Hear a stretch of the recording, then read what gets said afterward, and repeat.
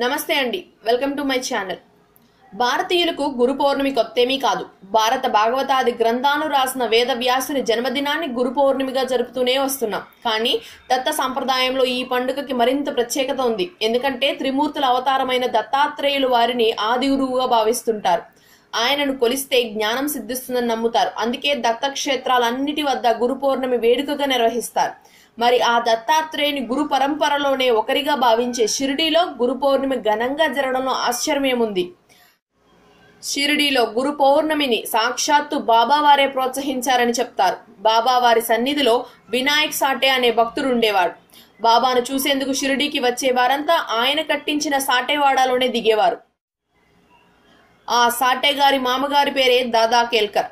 ఒకరోజు బాబా గారు ఆయన్ని పిలిచి ఆ రోజు గురు పౌర్ణిమ అని గురు పూజ చెయ్యమని సూచించారట. మరి బాబా భక్తులకు గురువు దైవం బాబానే కదా? అందుకనే కేల్కర్ బాబా చెంతకు చేరుకొని ఆయనను ధూప దీప నైవేద్యాలతో పూజించారు. ఇలా షిరిడిలో గురు పౌర్ణమి మొదలైంది. బాబా గారికి గురు పౌర్ణమి అంటే చాలా ఇష్టమని ఆ రోజున ఆయన అఖండమైన తేజస్సుతో వెలిగిపోయేవారని చెప్తారు. అందుకే షిరిడిలో విజయదశమి శ్రీరామనవమిలతో పాటు గురు పౌర్ణమి కూడా ఘనంగా నిర్వహిస్తారు. గురు పౌర్ణమి రోజు ముందు నుంచే షిరిడిలో పండగ మొదలవుతుంది. ఉదయాన్నే ఆయన పటాన్ని ఊరేగించడంతో ఉత్సవాలు ప్రారంభమవుతాయి.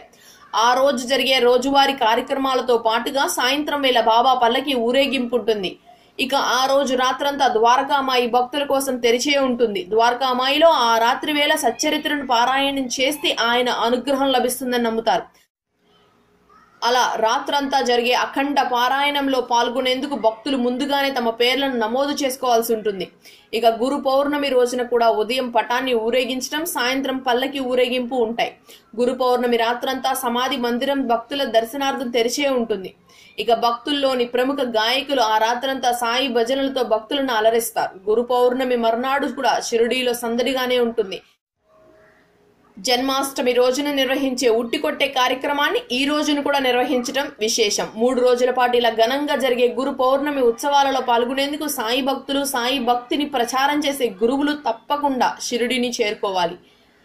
ఈ వీడియో కనుక మీకు నచ్చితే లైక్ చేయండి కామెంట్ చేయండి షేర్ చేయండి. మరిన్ని ఇలాంటి వీడియోస్ కోసం మా ఛానల్కి సబ్స్క్రైబ్ చేసుకోండి. Thanks for watching.